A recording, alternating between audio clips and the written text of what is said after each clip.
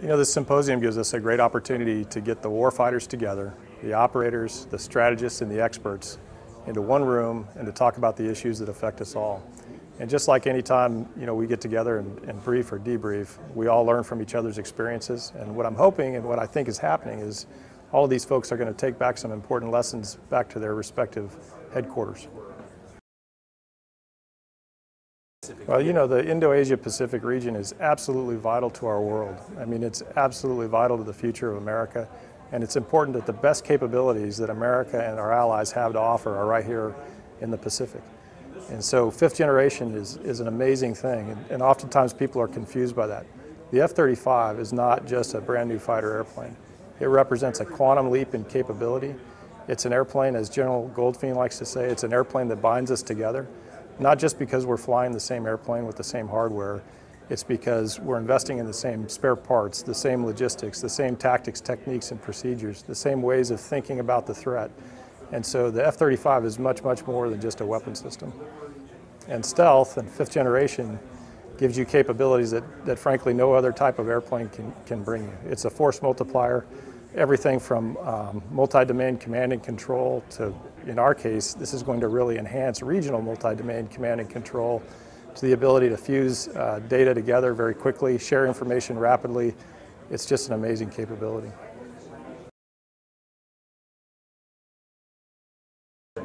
Well, you know, the F-35 brings an amazing combat capability to this theater. And it, it's not an exaggeration to say that it's the most capable combat aircraft in the world today. And it's important because in this time when it's not easy for every nation to have dozens and dozens of these types of airplanes, every one of us has to get stronger every day.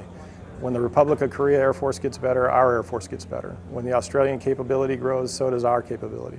We're all networked. We're all in this together.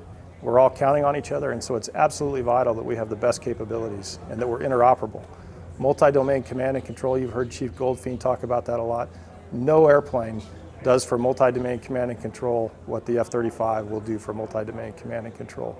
As General O'Shaughnessy likes to say, the F-35 is not just a new airplane, it's an entirely new capability, and it's going to enhance our ability to conduct command and control across the entire region. The United States Air Force has been flying F-22s for over a decade, and we learned some amazing lessons about what is truly an amazing airplane. The vision for this symposium is really pretty simple. General O'Shaughnessy said, listen, I don't want our allies and our partners to have to relearn lessons that we've already learned. Let's get everybody together, let's share what we know, let's listen to what they've learned and let's learn from them.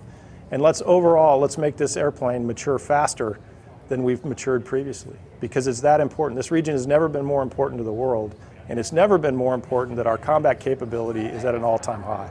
And so that's really what we're here to do. And it's, an it's so far an amazing event.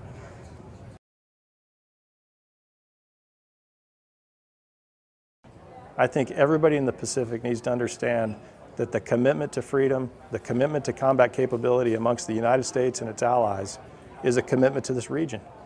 You know, and so right here at Joint Base Pearl Harbor Hickam, we have the best minds in the F-35, we have the strategists, we have the operators, we have the tacticians, we have the maintenance, we have the intelligence officers, and they're making sure that the United States, our partners and our allies have the best combat capability available in the world today.